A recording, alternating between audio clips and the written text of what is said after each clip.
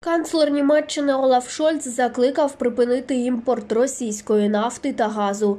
Відповідну заяву німецький посадовець зробив на брифінгу в Берліні. Олаф Шольц заявив, що європейські санкції проти Росії мають бути не короткостроковими, а тривалими. Канцлер також вважає, що необхідно припинити німецьку залежність від імпорту російських нафти, газу та вугілля якнайшвидше.